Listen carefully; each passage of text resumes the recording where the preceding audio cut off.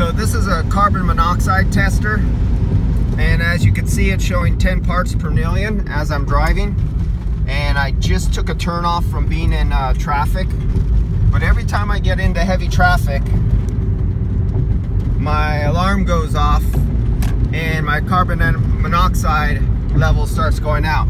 Now, if you had this in a house and you had something like this happen, opening up all your doors and windows and looking for the location of the carbon monoxide poisoning. And uh, my source of carbon monoxide poisoning is all the cars in front of me. Every time you drive in traffic and you get in heavy backed up traffic when you're stopping and stuff on the road, from your outside air that comes in your car, that's what you're breathing. Carbon monoxide tester.